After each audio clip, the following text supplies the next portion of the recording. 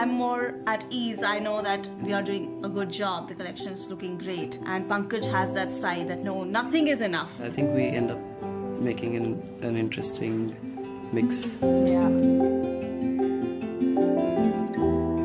Our philosophy is sort of very slow and steady wins the race. I think when we started out, we were just wanting to discover what our brand would look like. And over the years, we have evolved a language, a handwriting for our brand.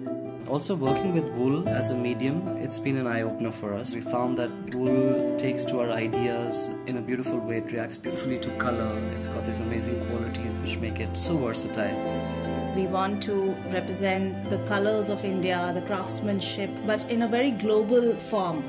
Honestly, we find the Woolmark Prize just the most fantastic opportunity to make such a dream come true.